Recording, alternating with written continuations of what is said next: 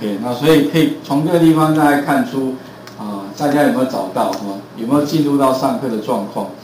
好，如果说哎都没有人看的话，那表示大家其实都没有进入状况，找不到。啊，已经都下来了。哦，那是特别认真的同学哦。有反因为我同学特别认真，回家放假也都在家里看语音上课哦，而且还会发问题发问。好，那我有时候刚好有空的时候就回忆一下这样子。哦，嗯，其实现在人就这样，其实到底因为太方便了，随时都可以看到 email 嘛，可以看到线上的状况。那你又不回，好像又感觉不太对。好，那你又回又回不完嘛，所以有的时候你会发现呢，这个装置太方便，即便你是在荒荒郊野外的地方，其实都可以上网。因为我发现中华中华电信真的哈，在我我最近蛮喜欢爬山的，我发现在荒荒郊野外哈，哎真的也搜寻得到有些地方，啊甚至我有一次爬山爬到一个地方，结果发现突然满格，哦原来我身旁就是一个基地台，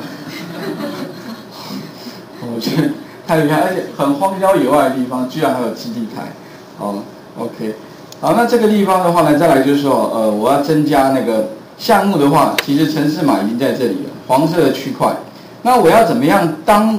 这个表单载入的时候，就加项目在这个里面。重点就是说呢，一个事件哈，特别注意啊，它这个是地方就是，呃，红色的框框就是一个事件。那这个事件就是说，当怎么样，user form，当这个表单怎么样呢？